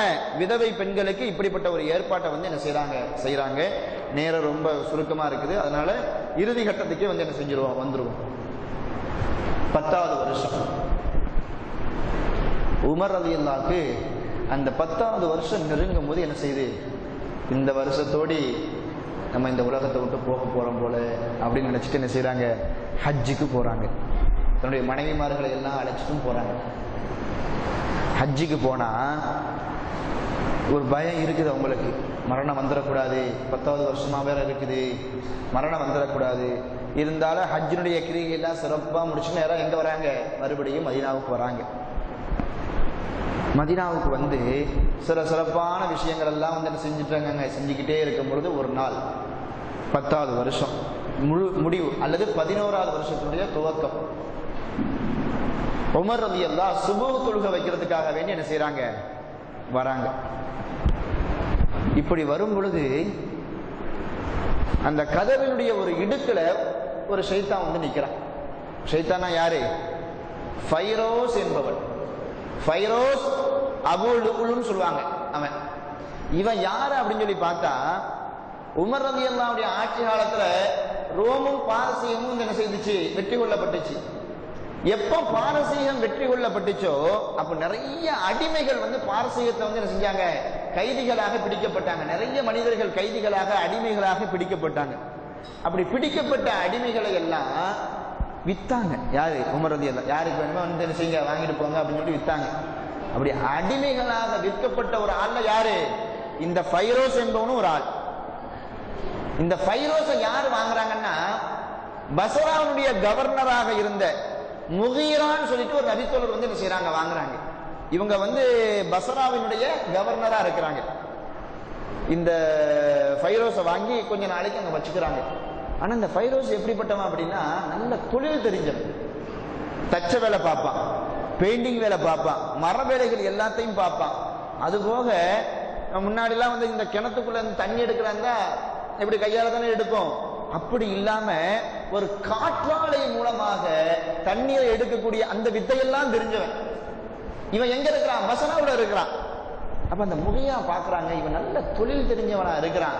இவன் வந்து பசரால நம்ம கூட இருக்கிறத காட்டிலும் இஸ்லாத்தினுடைய தலைநகரமாக இருக்கக்கூடிய மதினாவில் இவன் போய் இருந்தான்னா உமர் ரதி அல்லாவுக்கு கொஞ்சம் ஹெல்ப்பா இருக்குமே. அந்த தலைநகரத்துல இவனுக்கு தேவையான நம்ம மக்களுக்கு தேவையான எல்லா வஸ்துக்களையும் இவன் செஞ்சு கொடுப்பானே. தச்ச வேலைலாம் தெரியுது பெயிண்டிங் வேலைலாம் தெரியுது. இந்த மாதிரி நிறைய கைவேலைகள்லாம் நிறைய வச்சிருக்கிறான். இவன் இங்க இருக்கிறத விட எங்க இருந்தா நல்லது? மதினாவில் இருந்தா நம்ம மக்கள் பிரயோஜனம் அடைவாங்களேன்னு சொல்லிட்டு உமர் ரதி அல்லாட்ட வந்து என்ன செய்யறாங்க ஒரு அனுமதி கேட்கிறாங்க எப்படின்னா இந்த மாதிரி இப்போ இருக்கிறான் ஃபைரோசி இவன் நல்ல தொழில் தெரிஞ்சவனா இருக்கிறான். இவன் இங்க இருக்கிறத காட்டிலும் மதினாவுல இருந்தா ரொம்ப நல்லா இருக்குமே. அப்படின்னு சொல்லிட்டு என்ன செய்யறாங்க உமர் அலி அல்லாட்ட கேட்கறாங்க உமர் அலி எல்லாம் ஆரம்பத்தை மறுக்கிறாங்க வேண்டாம் இந்த மதினாவுக்குள்ள என்ன செய்யக்கூடாது? எந்த ஒரு இறை மறுப்பாளர்களும் இருக்கக்கூடாது. அவன் வேண்டான்றாங்க. அப்ப அந்த முகையிலா தான் என்ன செய்யறாங்கன்னா சரி இவனை மட்டும் நீங்க வச்சுக்கங்க. இவன் நல்ல தொழில் தெரிஞ்சவனா இருக்கான். உங்களுக்கு ரொம்ப யூஸ்ஃபுல்லா இருக்கும் அப்படின்றாங்க. சரி முகையில இவ்வளவு சொல்றாங்களே அவனும் தொழில் தெரிஞ்சவனா இருக்கிறானேன்னு சொல்லிட்டு ச- உமர் அது எல்லாம் சரின்னு சொல்றாங்க. அந்த பைரோஸ் எங்க வரான்? பசராவுல இருந்து நேரா மதினாவுக்கு வரான். மதினால வந்து இருந்தாலும் யாருடைய அடிமையாத்தான் இருக்கிறான்? முகீரானுடைய அடிமையாத்தான் இருக்கிறான். முகீரா என்ன செஞ்சாங்கன்னா அந்த ஃபைரோஸ்ட சொல்லியே அனுப்புனாங்க. நீ மதீனாவுக்கு போறதெல்லாம் சரி அங்க உனக்கு நிறைய வேலை வாய்ப்பு எல்லாம் இருக்கும். என்ன வேலை பார்த்தாலும் சரி ஒரு நாளைக்கு ரெண்டு திருகம் வந்து என்ன செஞ்சோம் எனக்கு தரப்படி நீ தந்தரணும்ப்பா அப்படின்றாங்க. அந்த முகீராவும் சரின்னு சொல்லிட்டு என்ன செய்யறாரு மதீனாவுக்கு வரான் ஃபைரோஸ் வரான் கொஞ்ச நாள் அப்படியே ஓடு. நல்ல வேலை பார்க்குறான். நிறைய காசு படமும் கிடைக்குது. ஒரு நாள் திடீர்னு அந்த ஃபைரோஸ் முகீரா ரதியல்லாவை பத்தி உமர் ரதியல்லாட்ட வந்து ஒரு கம்ப்ளைண்ட் பண்றான். என்ன கம்ப்ளைண்ட் பண்றான்? அமீர் மினின் அவங்களே? நான் இன்னாருடைய அடிமைன்னு சொல்லிட்டு உங்களுக்கு தெரியும். என்னுடைய எஜமானர் அந்த முகீரா எங்கிட்ட வந்து வரியை கொஞ்சம் அதிகமாகவே கேட்கிறாரு. அப்ப உமர் ரதியல்லா கேட்குறாங்க எவ்வளவு வரி கேட்குறாங்க உங்கள்கிட்ட அப்படின்னு. ஒரு நாளைக்கு ரெண்டு திருகம் கேட்கிறாரு. நீ என்ன வேலை பார்க்குற? அப்படின்னு சொல்லி உமர் ரதியல்லா கேட்டாங்க. நான் என்னென்ன மாதிரிலாம் வேலை செய்கிறேன் அப்படின்னு. அப்போ உமர் ரதியல்லா சொல்கிறாங்க ஏப்பா நீ நல்ல தொழில் தெரிஞ்சவனா இருக்கிற நிறைய சம்பாதிக்கிற அப்போ ரெண்டு திருகம்ங்கிறது கஷ்டம் இல்லையே ஒரு நாளைக்கு பதினெட்டு திருகம் இருபது திருகம் சம்பாதிக்கிற அவ்வளவு சம்பாதிச்சான். அப்ப ரெண்டு திருகம் கொடுக்கறது கஷ்டம் இல்லையே உமர் அந்த- உமர் சொல்றாங்க. நீ நல்லா சம்பாதிக்கிற. ரெண்டு திருகம் அவர் கேட்கறாருன்னா தப்பு கிடையாது. நீ ரெண்டு திருகம் கொடு அப்படின்றாங்க.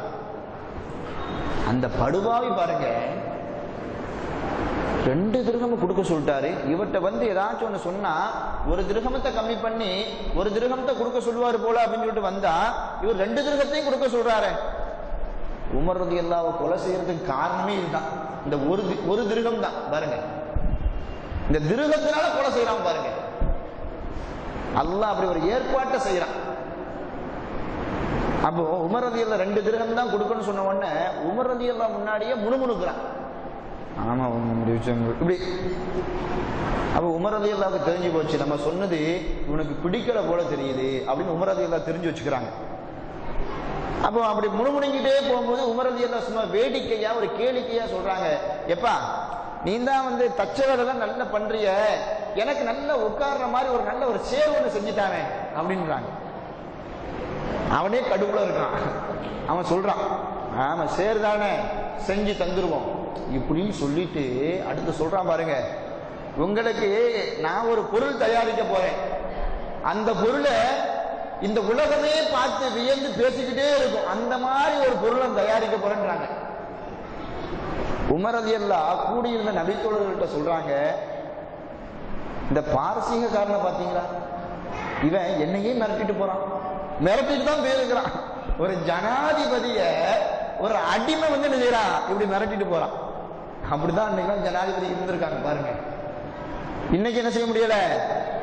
ட்விட்டர்ல வாட்ஸ்அப்ல கூட ஒன்றும் பேச முடியல. அவங்களுக்கு எதிர்த்து. அவங்க தப்பே பண்ணாலும் நம்மளால ஒண்ணுமே சொல்ல முடியல. ஏதாச்சும் ஒண்ணு சொன்னா பிடிச்சி உள்ளதுக்கு போட்டுருவாங்க.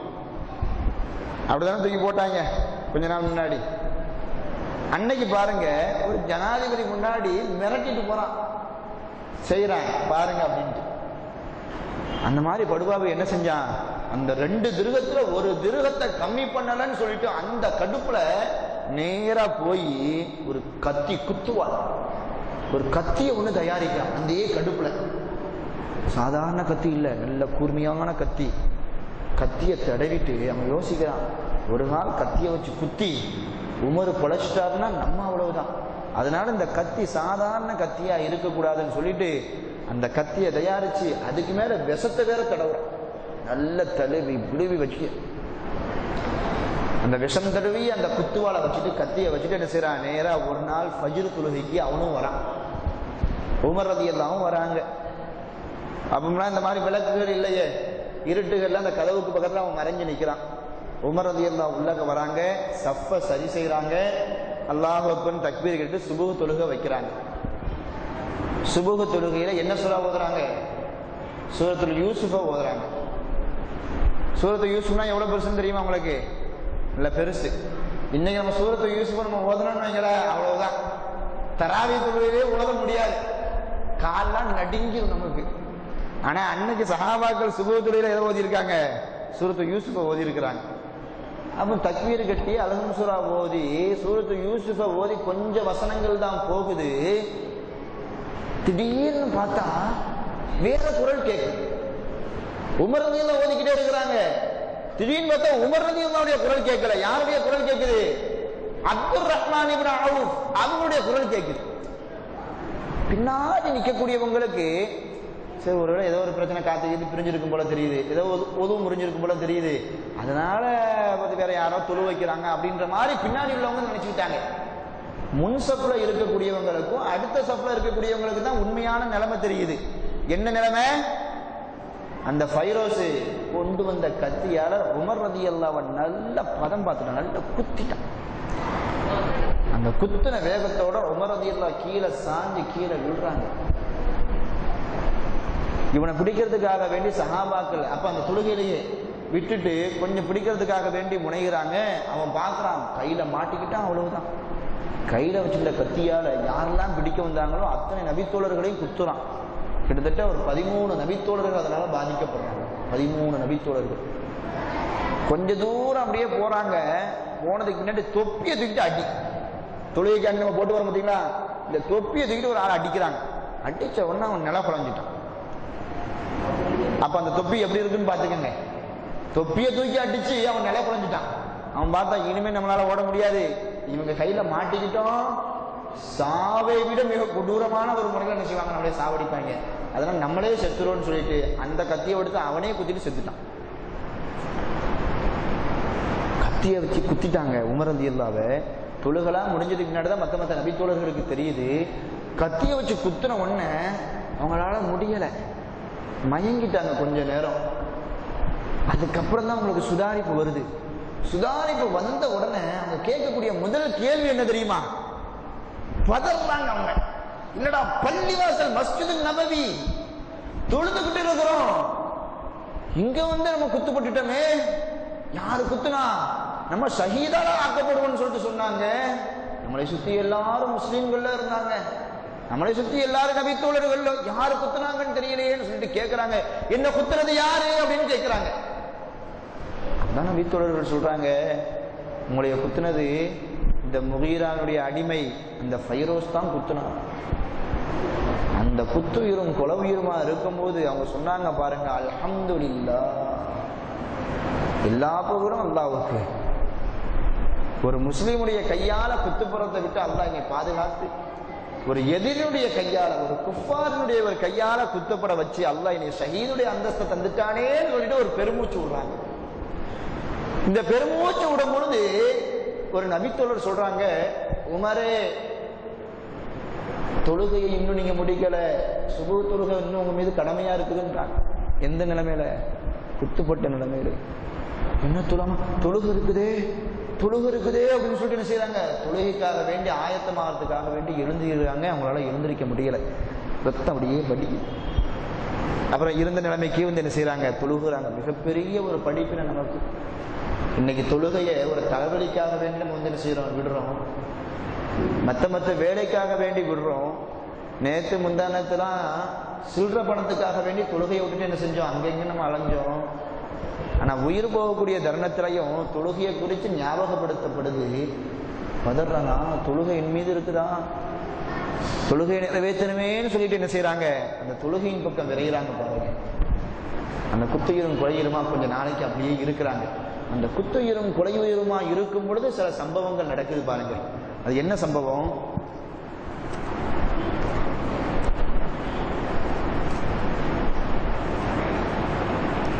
முதல் விஷயம்.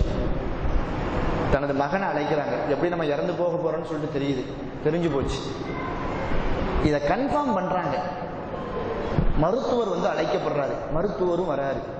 மருத்துவர் வந்து செக் பண்றாரு. எப்படி செக் பண்றாருன்னா கையை பிடிச்சி பார்க்கணும். இடம் வேற எப்படியாச்சும் செக் பண்ணணும். அவர் எப்படி செக் பண்றாரு பாருங்க. பேரித்தம்பளம் இருக்கு பார்த்தீங்களா? அதை கொண்டு வர சொல்றாரு.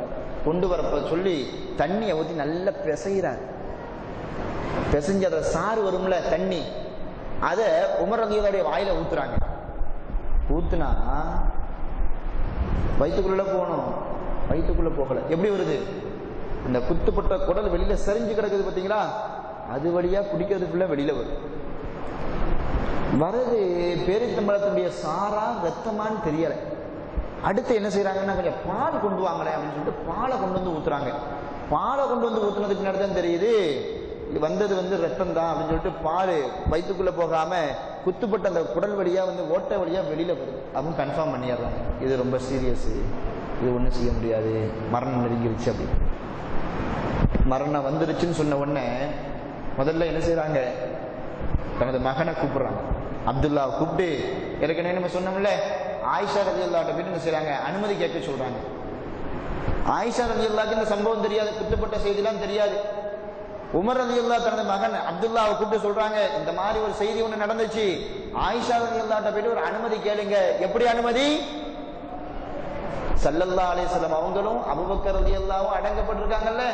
அதே அறையில நானும் அடங்கப்படணும்னு சொல்லிட்டு நான் ஆசைப்படுறேன். இதுக்கு அனுமதி கிடைக்குமான்னு சொல்லிட்டு நீங்க போய் கேட்டுட்டு வாங்கன்ற. அப்துல்லாவும் நேரம் என்ன போறாங்க? ஆயிஷா ரதி எல்லா இடத்துக்கு போறாங்க. சலாம் சொல்றாங்க. பதில் சொல்லப்படுது. பதில் சொல்லப்பட்ட உடனே அப்துல்லா சொல்றாங்க உமர் ரதி மகனார் சொல்றாங்க மீன்களின் தாயே எனது தந்தைக்கு இந்த மாதிரி ஒரு நிலைமை ஏற்பட்டுடுச்சு. இந்த மாதிரி ஒரு நிலைமை ஏற்பட்டுடுச்சுன்னு சொன்ன உடனே ஆயிஷா ரதி அல்லாவுடைய கண்களில் இருந்து தண்ணீர் தார தாரையா வடிக்குது ஆயிஷா ரதி அல்லாவுக்கு உமர் ரதி அல்லா மேல தனிப்பட்ட பாசம் உண்டு. நிறைய மரியாதை உண்டு. காரணம் என்னன்னா ஒரு கட்டத்துல அந்த அவதூறு செய்தி பரவிச்சு பார்த்தீங்களா அந்த உறுதுணையா நின்னவங்க யாரு? உமர் ரதி அல்லா தான் அதுக்கு பின்னாடி ரொம்ப பாசம். இந்த செய்தியை கேள்விப்பட்ட உடனே ஆயிஷா ரதி அல்லா அழுகுறாங்க. இப்படி ஒரு செய்தியா இப்படி ஒரு சம்பவம் நடந்துருச்சா? வேற என்ன அப்படின்னு சொல்லி கேட்கும்போது அப்துல்லா சொல்றாங்க எனது தந்தை ரொம்ப ஆசைப்படுறாங்க. என்ன ஆசை தெரியுமா? சல்லல்லா அலிஸ்லமுடைய வலது பக்கத்துல உங்களுடைய தந்தை அபுபக்கர் அடங்கப்பட்டிருக்காங்க. இடது பக்கத்துல எனது தந்தை உமர் அடங்கப்படணும்னு சொல்லிட்டு ஆசைப்படுறாங்க. உங்களுடைய அனுமதியை கேட்டு வர சொன்னாங்க அப்படின்னு.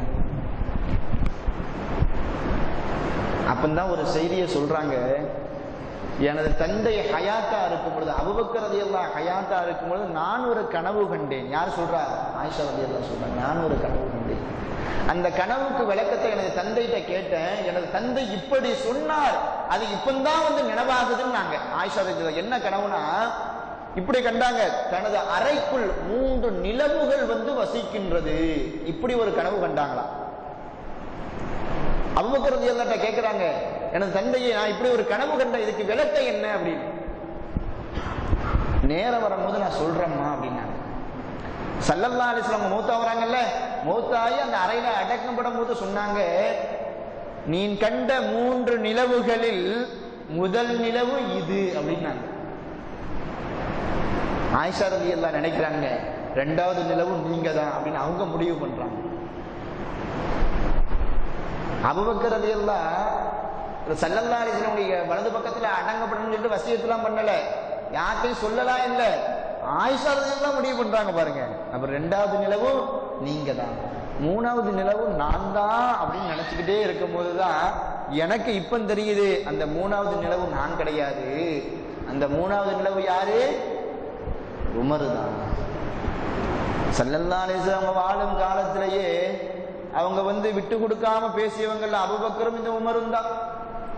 எங்கு போனாலும் நானும் அபுபக்கரும் உமரும் அங்கு போனோம். நானும் அபுபக்கரும் உமரும் இங்கு போனோம். நானும் அபுபக்கரும் உமரும் இப்படி செய்தோம். நானும் அபுபக்கரும் உமரும் அப்படி செய்தோம் என்று வார்த்தைகளிலும் வாழ்க்கையிலும் பிரிக்க முடியாத ஒரு அம்சமாக இருந்த இந்த உமரை மரணத்திற்கு பின்னாடியும் தன்னோடையே சேர்த்துக்கிட்டாங்களே. அனுமதி கொடுக்குறாங்க. சரி நான் அனுமதி கொடுத்துட்டேன்னு சொல்லுங்க அப்படின்னு நேராக அப்துல்லா நேராக உமர் அப்துல்லாட்ட வராங்க. தந்தையே நான் அனுமதி கேட்டால் அவங்க அனுமதி கொடுத்துட்டாங்க. மறுபடியும் சொல்றாங்க நான் இறந்து போனதுக்கு பின்னாடி என்னுடைய உடலை நீங்க கொண்டு போவீங்கல்ல? கொண்டு போய் உடனே போய் அட அடைக்கிறாதீங்க. அப்பவும் நீங்க அனுமதி கேளுங்க. இந்த உமருடைய ஜனாசா வந்திருக்குது. அடக்கம் செய்யலாமான்னு சொல்லிட்டு கேளுங்க. காரணம் என்னன்னா உமரு உயிரோட இருக்கும் பொழுது ஜனாதிபதி சொன்னதுனால அவங்க கட்டுப்பட்டுறக்கூடாது. நான் இறந்து போனதுக்கு பின்னாடி ஜனாதிபதி கிடையாது மையத்திலும் அதனால நான் இறந்து போனதுக்கு பின்னாடி கொண்டு போயிட்டு நீங்க அனுமதி கேளுங்க. அப்பவும் அவங்க அனுமதி கொடுத்தாங்கன்னா நீங்க என்ன செய்யுங்க? என்னுடைய உடலை கொண்டு போய் அங்க அடக்கம் செய்யுங்க. இல்லைன்னா பொது மையவாடிக்கு கொண்டு வந்து என்ன செஞ்சிருங்க? என்னை கொண்டு அடக்கம் பண்ணிருங்க அப்படின்றாங்க. அந்த மாதிரியே வந்து என்ன செய்யுது? அனுமதி கேட்கப்படுது அனுமதியும் கொடுக்கப்படுது. சல்லல்லா அலே செல்லம் அவருடைய இடது பக்கத்துல உமர் அலி எல்லாம் அடக்கம் செய்யப்படுறாங்க. என்னைக்கு உமர் அலி இந்த உலகத்தை விட்டும் பிரிந்தார்களோ அன்னைக்கு கூட இருந்த சஹாபாக்கள் ஒட்டுமொத்த சஹாபாக்களும் கண்ணீர் வெள்ளத்துல வந்து என்ன செய்றாங்க? மிதக்கிறாங்க. நபித்தோழர்கள் மூத்த மூத்த நபித்தோழர்கள் எல்லாம் இபுனு மசூது போன்ற நபித்தோழர்கள் எல்லாம் சொல்றாங்க சல்லல்லாஹு அலைஹி செல்லம் அவர்களின் மரணம் எங்களுக்கு எந்த அளவிற்கு தாக்கத்தையும் ஏக்கத்தையும் கவலையையும் ஏற்படுத்தியதோ அதே அளவிற்கு இந்த உமர் அல்லாவுடைய மரணமும் எங்களுக்கு கவலையையும் துக்கத்தையும் ஏற்படுத்தியது. இதற்கு பின்னால் எங்களை வழிநடத்தக்கூடிய தலைவர் யார்? எப்படிப்பட்ட தலைவர் வரப்போகிறார்? என்பது போன்ற கவலைகள் எல்லாம் எங்களுக்கு இருந்தது. அப்படின்னு சொல்லிட்டு யார் சொல்றா? நபித்தோழர்களை மூத்தவங்களெல்லாம் சொன்னாங்க. அப்போ உமர் அலி அல்லா இந்த உலகத்தை விட்டு பிரிஞ்சு போனாங்களே அன்னைக்கு ஹயாத்தா இருந்த எல்லோருக்கும் ஒரு கவலை வாய்ந்த ஒரு செய்தியா உமரந்தி அல்லாவுடைய மரண செய்தி இருந்துச்சு. அந்த கூட்டத்தில் அல்லா நம்மளையே வைக்கல. அந்த செய்தியை நம்ம கேள்விப்படுறோம். இன்னும் உமர் ரதி அல்லாவுடைய மரணத்துல ஏகப்பட்ட படிப்பினைகள் இருக்கு நிறைய பாடங்கள் இருக்குது இந்த உமர் ரதி அல்லாவுடைய அந்த மரண தருவாயில இருக்கும் பொழுதுதான் தனக்கு பின்னாடி யார் ஆட்சிக்கு வரணும்னு சொல்லிட்டு அதையெல்லாம் வந்து என்ன செய்யறாங்க வசியத்து செய்யறாங்க அதையெல்லாம் பூர்ணமா நம்ம தெரிஞ்சோம் அப்படின்னா உமர் ரதி அல்லாவை போல ஒரு ஆட்சி தலைவரை இனிமேல் நம்மால் காணவும் முடியாது எந்த புத்தகத்திலும் படிக்கவும் முடியாது என்கிற ஒரு செய்தியை வந்து நம்ம என்ன செஞ்சுக்கிடுவோம்? தெரிஞ்சுக்கிடுவோம். இதுவரையில் நாம் கேட்ட செய்தியே உமர் ரதியுல்லாவுடைய தன்மானமும் அவனுடைய கண்ணியமும் அவங்களுடைய நீதியும் எப்படிப்பட்டது என்பதற்கு போதுமான ஒரு செய்தியா இருக்குது. இந்த ஏழு வாரங்களும் உமர் ரதியுல்லாவை பற்றி நாம் என்ன செய்திகளை நாம் அறிந்தோமோ அந்த அறிந்த அந்த செய்தியின் அடிப்படையில் நமது வாழ்க்கையை அமைத்துக் கொள்வதற்கு வல்ல இறைவன் அருள்புரிவானாக. வாழும் கொஞ்ச காலங்களில் உமர் ரதி அல்லாஹுவை போல அவர்களின் ஈமானில் இருந்த உறுதியைப் போல அல்லாஹ் ரபுல்லாலமின் நமது ஈமானிலும் உறுதியை தந்துள்ள புரிவானாக. வாழும் காலங்களில் நமக்கு மாத்திரமல்ல நம்ம நம்மை சுற்றி உள்ள மனிதர்களுக்கும் நல்லது செய்யக்கூடிய புரோஜனமுள்ள நல்லடியார்களாக அல்லாஹ் ரபுல் ஆலமீன் நம் அனைவர்களையும் ஆக்கி அருள் புரிவானாக என்று துவா செய்தவனாக இந்த வகுப்பை நான் முடித்துக் கொள்கின்றேன். வ ஆசிர் தாவானா அனில் அஹமதுல்லாஹி ரபுல் ஆலமீன். அலைக்கும் ரஹ்மத்துல்லாஹி வரகாத்துஹு அன்பார்ந்த சகோதரர்கள்